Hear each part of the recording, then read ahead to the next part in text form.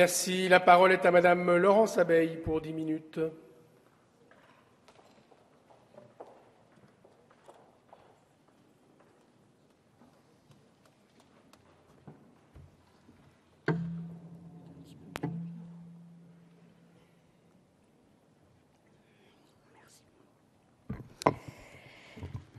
Monsieur le Président, Madame la Ministre, Monsieur, euh, non, Président de la Commission, pas, euh, Madame la rapporteure, chers collègues, nous voici en présence d'un nouveau projet de loi qui vise notamment à habiliter le gouvernement à prendre des ordonnances.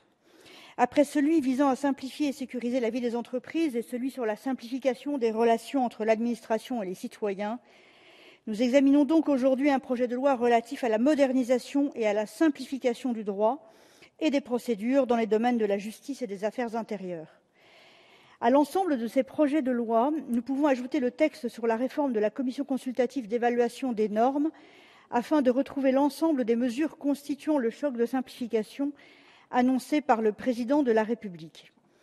Ce dernier a en effet souhaité engager, au bénéfice des entreprises et de l'ensemble des usagers de l'administration, des mesures de nature à leur permettre de se libérer de certaines tâches administratives pouvant être modernisés.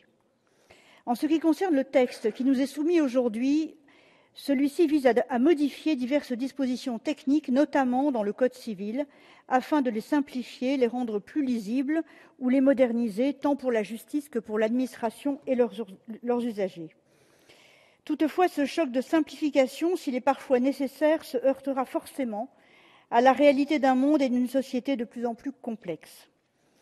Le Gouvernement a choisi de recourir aux ordonnances prévues par l'article 38 de notre Constitution, au motif qu'il évitera l'examen par le Parlement de ces nombreuses dispositions techniques qui entraîneraient un encombrement excessif du travail parlementaire. Nous le répétons une nouvelle fois à l'occasion de l'examen de ce projet de loi, quelle que soit la pertinence et l'urgence à intervenir pour mettre en œuvre le choc de simplification, on ne peut que regretter, en tant que parlementaire, que le débat ne puisse avoir lieu au Parlement avec un projet de loi simple sur les questions complexes du droit et des procédures dans les domaines de la justice et des affaires intérieures. En effet, le champ de ce projet de loi est vaste, contient des sujets très divers et assez éloignés les uns des autres, et a dû être étudié dans le cadre de la procédure accélérée, ce qui est problématique, le recours des ordonnances étant déjà une contrainte sur le Parlement. Nous réitérons d'ailleurs notre soutien quant à l'instauration d'un dispositif d'association des parlementaires à l'élaboration par le Gouvernement des projets de loi d'habilitation de prise d'ordonnance et au suivi de leur bonne application. Par ailleurs, le choix de modifier le Code civil par ordonnance, code pilier de notre droit, est critiquable. Toutefois, les diverses modifications apportées au Sénat, puis en commission des lois à l'Assemblée nationale et à l'initiative des rapporteurs, ont grandement amélioré ce projet et évité un recours abusif aux ordonnances. Malgré le vaste champ d'application du projet de loi qui nous est soumis, nous saluons le travail de synthèse effectué par notre rapporteur qui s'est efforcé d'être le plus précise possible dans les demandes d'habilitation. C'est ainsi que, lorsque cela a été possible, de nombreuses habilitations ont été remplacées par des modifications directes des codes concernés. D'autres habilitations ont été abrogées. On peut notamment noter que le Sénat a supprimé l'article 3 qui habilitait le gouvernement à prendre des ordonnances pour modifier tout le droit des contrats et des obligations, soit 300 articles. Le gouvernement souhaite rétablir cet article. Nous considérons que son champ est trop vaste pour pouvoir l'accepter et que son incidence sur la compétitivité de notre économie mérite un véritable débat au Parlement. Sur le fond, nous sommes favorables à ce projet de loi qui vise à simplifier, à clarifier, à moderniser le droit sur des sujets divers mais dans trois domaines bien identifiables. Le premier concerne le droit civil, avec la protection juridique des majeurs et des mineurs, le droit des obligations et des contrats, le droit des biens, celui des procédures d'exécution et celui du droit des successions. Nous sommes particulièrement favorables à la mesure visant à permettre aux personnes sourdes et muettes de faire établir un testament authentique en les autorisant à se faire assister d'un interprète en langue des signes pour satisfaire aux formalités substantielles que sont la dictée et la lecture du testament. Le deuxième grand domaine de ce projet de loi concerne l'organisation de la justice, avec la réforme du tribunal des conflits ou encore de la procédure pénale, avec la possibilité plus que bienvenue de communiquer par voie électronique, ce qui permettra d'accélérer un tant soit peu les procédures. Le troisième domaine de ce projet de loi concerne quant à lui l'administration de l'État et des collectivités territoriales. Avec notamment la suppression de la transmission au préfet des actes budgétaires des établissements publics locaux d'enseignement ou encore la simplification des modalités selon lesquelles les CCAS peuvent contracter un emprunt. Autant de mesures qui seront favorablement accueillies par les organismes concernés et qui allégeront indubitablement leur gestion quotidienne. Enfin, il est un autre domaine qui viendra à s'introduire dans ce projet de loi par voie d'amendement. Il s'agit du statut juridique des animaux. Les écologistes ont pris connaissance hier soir de deux amendements portés par le groupe socialiste visant à changer le statut juridique de l'animal dans le Code civil. Évidemment, nous défendons ardemment cette avancée, mais la méthode laisse plus que perplexe. Les écologistes et l'ensemble des parlementaires intéressés par la question n'ont pas été associés alors qu'un groupe d'études sur la protection animale, présidé par notre collègue Geneviève Gaillard, que je salue, s'attelle depuis plusieurs mois à la rédaction d'une proposition de loi ambitieuse sur le sujet.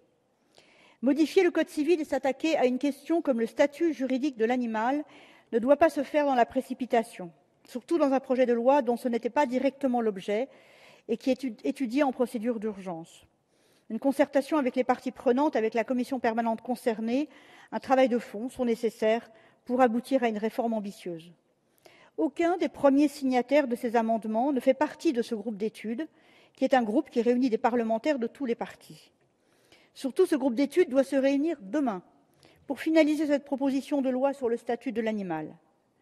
Je m'interroge donc sur la motivation profonde des signataires de ces amendements.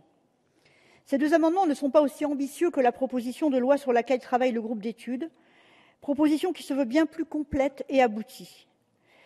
Ma préférence et celle du groupe écologiste allait à l'amendement numéro 24 qui créait une partie spécifique sur l'animal au sein du, du Code civil. Toutefois, cet amendement 24 a été retiré en début d'après-midi. Qu'il s'agisse de ce 24 retiré ou de l'amendement 59 qui reste en discussion, ces amendements manquent encore d'ambition. C'est pourquoi j'ai déposé avec mon groupe deux sous-amendements pour rappeler le caractère sensible de l'animal. J'aurai l'occasion de vous les présenter plus en détail tout à l'heure.